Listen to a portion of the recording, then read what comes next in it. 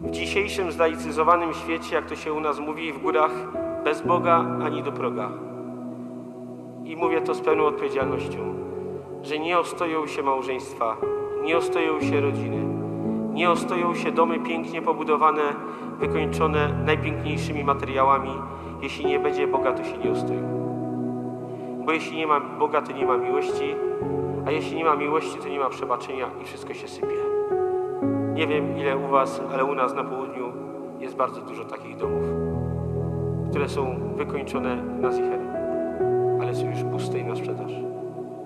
Bo zabrakło Boga, zabrakło miłości, zabrakło przebaczenia po jakichś różnych, może trudnych kryzysach i wszystko się rozsypało. Miłość i błogosławieństwo neutralizuje zło, dlatego tak ważne jest, aby modlić się o tą miłość, tak ważne jest, aby wypowiadać miłość, aby powtarzać słowo kocham, zwłaszcza w rodzinie.